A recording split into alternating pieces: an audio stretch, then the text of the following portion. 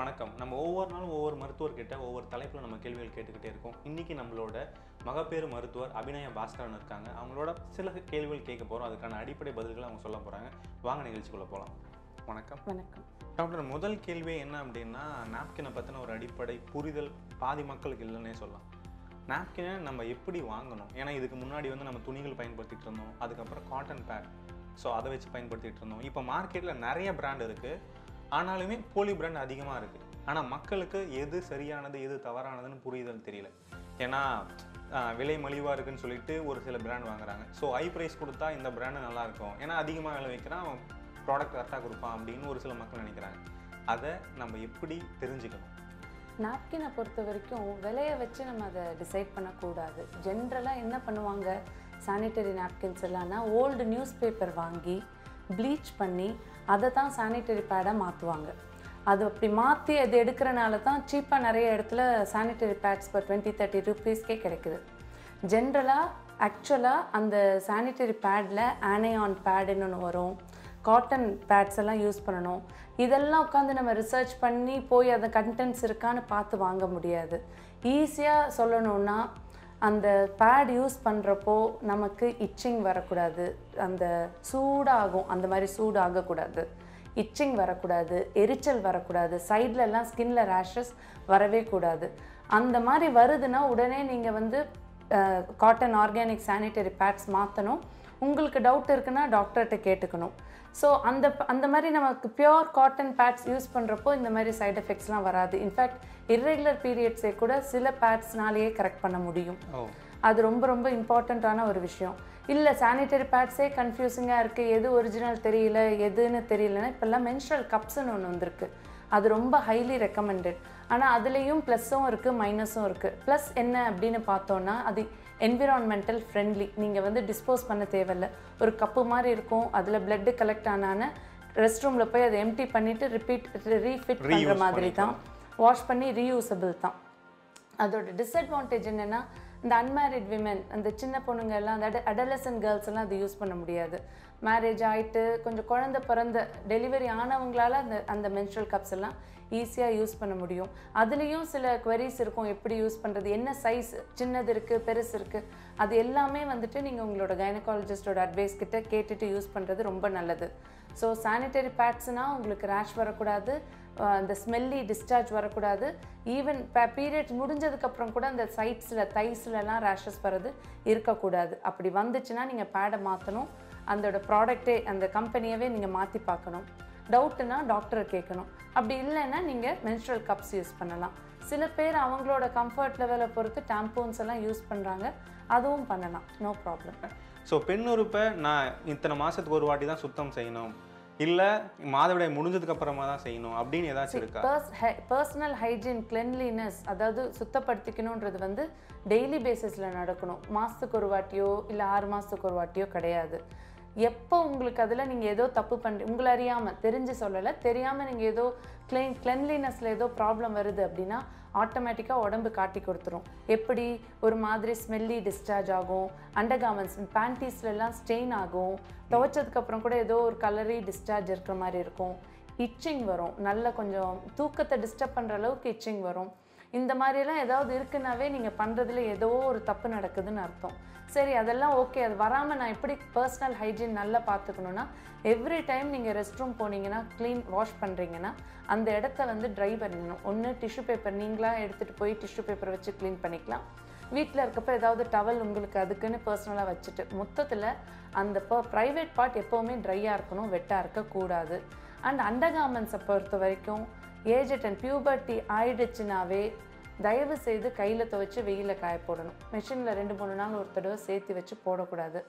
அதுக்கும் அப்புறம் அந்த முடி வளர்கிற இடத்துலலாம் வந்துட்டு நம்ம ரெகுலராக ட்ரிம் பண்ணி வச்சுக்கணும். ஷேவ் பண்ணுறதோ இல்லை அங்கே க்ரீம் போடுறதோ அதெல்லாம் கூட தப்பு தான் அதுலேயும் சைடு எஃபெக்ட்ஸ் வரத்துக்கு நிறைய சான்சஸ் இருக்குது அதுக்கப்புறம் அந்த ஹேண்ட் ஃப்ளஷ்ன்னு சொல்லுவோம் இல்லையா? அந்த ஹெல்த் ஃபாசெட் டைரெக்டாக நம்ம ப்ரைவேட் பார்ட்டில் அதை வச்சு வாஷ் பண்ணுறதும் தப்பு தான் ஏன்னா குட் பாக்டீரியா இருக்கும் நம்ம ப்ரைவேட் பார்ட்டில் நம்மளுக்கு டிஃபென்ஸுக்கு அது ரொம்ப முக்கியம். நோய் எதிர்ப்பு.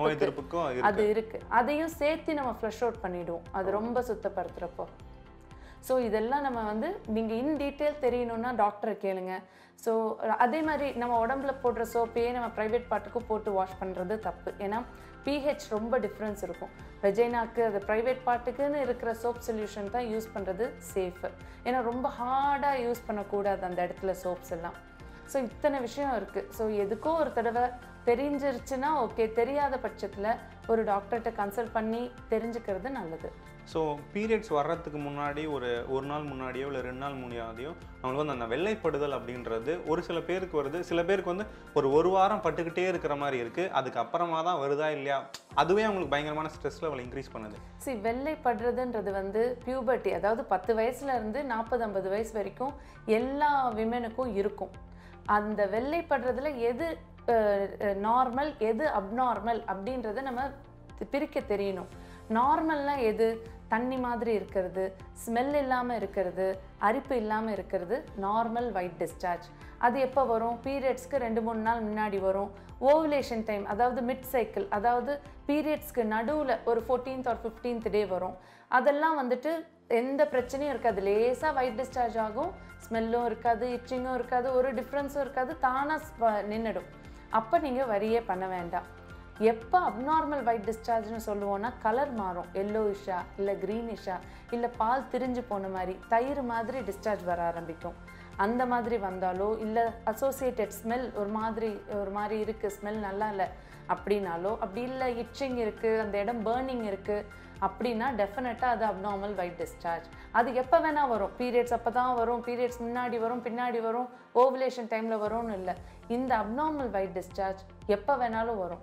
ஸோ அந்த மாதிரி வந்துச்சுன்னா உடனே நீங்கள் டாக்டரை பார்த்து என்ன டைப் ஆஃப் இன்ஃபெக்ஷன் பார்த்துட்டு ட்ரீட்மெண்ட் எடுக்கணும். ஸோ ஒரு பேசிக்காக ஒரு கிளைண்ட் இருக்காங்க ஒரு பேஷண்ட் இருக்காங்க. ஒரு நூற்றி நாற்பது சென்டிமீட்டரில் கிட்டத்தட்ட ஒரு அறுபத்தஞ்சு கிலோ வெயிட்டில் இருக்காங்க. அவங்களுக்கு வந்து உடன் பருமனும் இருக்குது ஸோ நீர்க்கட்டியும் இருக்குது அவங்களுக்கு ஒரு நார்மல் ஒரு டயட் அப்படின்னா ஏதாச்சும் இருக்குமா? இதை தான் நீங்கள் ஃபாலோ பண்ணீங்கன்னா உங்களோட வெயிட்டும் ரெடியூஸ் ஆகும். இல்லை நீர்க்கட்டிகளுக்கான தீர்வும் கிடைக்கும் டயட் அப்படின்னு? நம்ம எதை சொல்லுவோம்னா சாப்பிடாம இருக்கிறது பேர் டயட் கிடையாது. டைமுக்கு சாப்பிடணும் ஹெல்த்தியாக சாப்பிடணும் வீட்டில் சமைச்சதா சாப்பிடணும் வெந்ததா சாப்பிடணும். இதை தான் நான் என்னோட பேஷண்ட்ஸ்க்கு ரெகுலராக சொல்லுவேன்.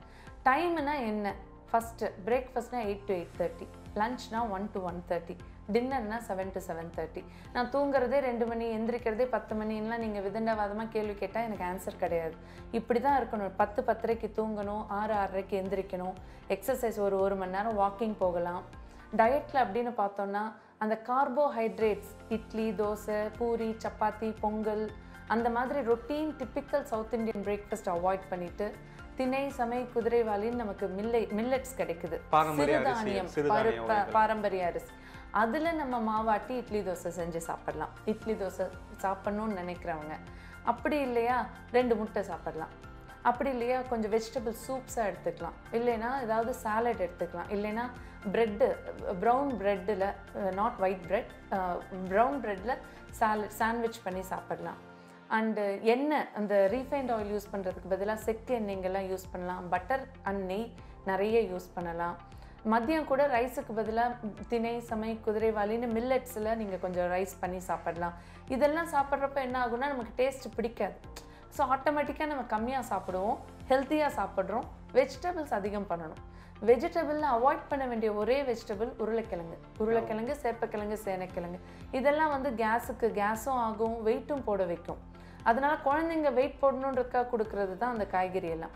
அந்த உருளைக்கிழங்கு வெரைட்டி எல்லாம். மற்றதெல்லாம் வந்துட்டு நீங்கள் எந்த ரெஸ்ட்ரிக்ஷனும் இல்லை. நீர் சத்து அதிகமாக இருக்கிற வெஜிடபிள்ஸ் லைக் சொரக்காய் பூசணிக்காய் புடலங்காய் வாழைத்தண்டு கீரை இதெல்லாம் நீங்கள் அதிகமாக சேர்த்துக்கலாம். ஸோ அது கொஞ்சம் சாப் அது நிறைய நீர் சத்து இருக்கிறனால பவல் டைஜஷனுக்கும் நல்லாயிருக்கும். வெயிட்டும் நிறைய போடாது. அதே தான் டின்னருக்கும் டின்னருக்கு வந்து டிஃபன் ஐட்டம்ஸாக சாப்பிடாம ரைஸாக சாப்பிடாம ரெண்டு ஃபிஷ் கிரில்டு கிரில் ஃபிஷ் சாப்பிட்லாம். தவா ஃபிஷ் ஃப்ரை பண்ண டீப் ஃப்ரை அவாய்ட் பண்ணணும். இல்லைன்னா சிக்கன் லெக் பீஸ் எடுத்துக்கலாம். நான்வெஜ் சாப்பிடாதவங்க அந்த மஞ்சள் பூசணி சூப் எடுத்துக்கலாம். இல்லைன்னா பன்னீர் எடுத்துக்கலாம். எடுத்துக்கலாம். மஷ்ரூம் எடுத்துக்கலாம். ஸோ கொஞ்சம் நீங்கள் ரொட்டீனாக சாப்பிட்றதுலேருந்து கொஞ்சம் வேறுபடணும். அதே டைமில் அது ஹெல்த்தியாக இருக்கணும். அவ்வளோதான் இந்த மாதிரி அது ஃபஸ்ட்டு ஒரு ஒன் வீக் டென் டேஸ்க்கு கஷ்டமாக இருக்கும். பழகிடுச்சுன்னா ரொம்ப ஈஸியாகிடும் டயட் மட்டும் பண்ணால் பத்தாது. அட்லீஸ்ட் ஒரு ஃபோர் லிட்டர்ஸ் தண்ணி குடிக்கணும். And seven to eight hours தூக்கம் இருக்கணும். தூக்கம் இல்லைன்னா ஹார்மோன் இம்பேலன்ஸ் ரொம்ப ஈஸியாக வந்துடும் ஸோ தூக்கம் ரொம்ப ரொம்ப இம்பார்ட்டன்ட் அதுக்கப்புறம் ஒரு one hour one and half hours exercise பண்ணணும். ஸோ ஸ்வெட்டிங் ஆகுற மாதிரி ஃபிசிக்கல் ஆக்டிவிட்டீஸ் அப்படின்னாவே நான் காலையிலேருந்து ஜிம்முக்கு போகணும். ஸோ ஜிம்முக்கு போய் வெயிட் தூக்குறது தான் ஒரு ஃபிசிக்கல் ஆக்டிவிட்டீஸ் ஸோ நான் ஜிம்முக்கு போகாமல் வேறு ஏதாச்சும் ஃபிசிக்கல் ஆக்டிவிட்டீஸ் இருக்கா அப்படின்னா இல்லை அப்படின்னு சொல்லிட்டு நிறைய பேர் ஒதுக்குறாங்க. ஃபிசிக்கல் ஆக்டிவிட்டினா ஜிம்முக்கு தான் போகணும் யோகா சென்டருக்கு தான் போகணும்லாம் எதுவுமே கிடையாது.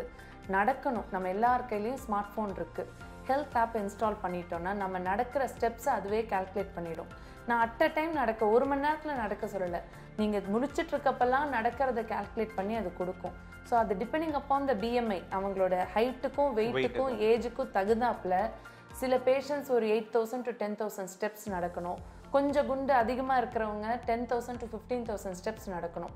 அதை ஒரு கோலாக வச்சுட்டு பண்ணணும். வெறும் வாக்கிங் தான். ஆனால் நம்பர் ஆஃப் ஸ்டெப்ஸை கால்குலேட் நான் ஹாஃப் அன் ஹவர் நடப்பேன் ஃபார்ட்டி ஃபைவ் மினிட்ஸ் நடப்பேன் அப்படின்னு சொல்லுவாங்க பேஷண்ட்ஸ் பட் மொத்தமாக அவங்க ரொம்ப ஸ்லோவாக நடந்திருக்கலாம். ரொம்ப பேஸ் வந்து டிஸ்டன்ஸ் கொஞ்சம் அதிகமாக வச்சு நடந்திருக்கலாம். ஸோ அதனால நம்பர் ஆஃப் ஸ்டெப்ஸ் கால்குலேட் பண்ணுறது ரொம்ப ரொம்ப இம்பார்ட்டன்ட் அப்ராக்சிமேட்டாக ஒரு தேர்ட்டி இயர்ஸில் இருக்கிறவங்க ஓரளவுக்கு ஓவர் வெயிட் கேட்டகரி ஒபீஸ் கேட்டகரியில் ஓவர் வெயிட் கேட்டகரியில் இருக்கேன். நான் இருக்க வேண்டிய வெயிட்டை விட ஒரு அஞ்சு கிலோ ஆறு கிலோ அதிகமாக இருக்கேன்னா அட்லீஸ்ட் டென் தௌசண்ட் ஸ்டெப்ஸ் நடக்கணும். ஓ. அது மட்டும் போதும். அது மட்டும் இல்லாமல் ஸ்கிப்பிங் நம்ம வீட்டிலேயே பண்ணலாம். சூரிய நமஸ்காரம் நம்ம வீட்டிலேயே பண்ணலாம். ஜம்பிங் ஜாக்ஸ் வீட்டிலேயே பண்ணலாம். பிடிச்ச சாமி முன்னாடி தோப்புக்கரணும் வீட்டிலேயே போடலாம். நிறைய இருக்குது இந்த ஜிம்முக்கு போனால் தான் எக்ஸசைஸ்ன்றதெல்லாம் ஏமாத்து வேலை. நம்ம பண்ணணும்னு நினச்சா பண்ணலாம். பண்ணலாம். ஸோ இர்ரெகுலர் பீரியட்ஸ்க்கு டிப்ரெஷன் சம்மந்தம் இருக்கா? கண்டிப்பாக irregular பீரியட்ஸில் டிப்ரெஷன் வரும். இது irregular பீரியட்ஸ்னு இல்லை ரெகுலர் பீரியட்ஸ் இருக்கிறவங்களுக்கே அந்த ப்ரீமென்ஸ்ட்ரல் சிண்ட்ரோம் அப்படின்னு ஒன்று இருக்குது அந்த ஹார்மோன்ஸ் ஃப்ளக்சுவேஷன் ஆகுறனால கொஞ்சம் டிப்ரெஷன் வரும். கத்துவாங்க. அந்த பீரியடுக்கு முன்னாடி நாள் தேவையில்லாமல் சின்ன விஷயத்துக்கெலாம் கோவப்படுவாங்க. எரிச்சல் படுவாங்க. அதே மாதிரி டிப்ரெஷன் சில பேர் பேசவே மாட்டாங்க. புசுக்குனா அழு அழ ஆரம்பிச்சிடுவாங்க. க யாருக்கும் தெரியாமல் நிறைய சாப்பிடுவாங்க. இது எல்லாமே வந்து ஹார்மோன்ஸ்னால வர்றது தான் ஸோ இன்கேஸ் உங்களுக்கு பீரியட்ஸ்க்கு முன்னாடியோ இல்லை பீரியட் எப்போனாலும் சரி if you feel not alright எனக்கு கஷ்டமாக இருக்குது டிப்ரெஸ்டாக இருக்குன்னா டிப்ரெஷனும் மற்ற வியாதி மாதிரி அதுவும் ஒரு ப்ராப்ளம் தான். டாக்டர்கிட்ட காமிச்சு அதுக்கு என்ன பீரியட் சம்மந்தப்பட்ட ப்ராப்ளம்னா அதுக்குரிய ட்ரீட்மெண்ட் கொடுத்தா சரி பண்ணிடலாம். பண்ணிடலாம். பண்ணிடலாம். ஸோ ஆக்சுவலாக உணவு முறையும் இருக்குது ஸோ அவங்களோட டிப்ரெஷன் மனநிலைமையும் இருக்குது இதெல்லாம் சேர்ந்தாதான் தான் ஒரு ரெகுலர் பீரியட்ஸ்க்கான வழி வருது இங்கே உணவும் எக்ஸசைஸும் கரெக்டாக பண்ண ஆரம்பிச்சிட்டிங்கன்னாவே டிப்ரெஷனும் தூக்கம்.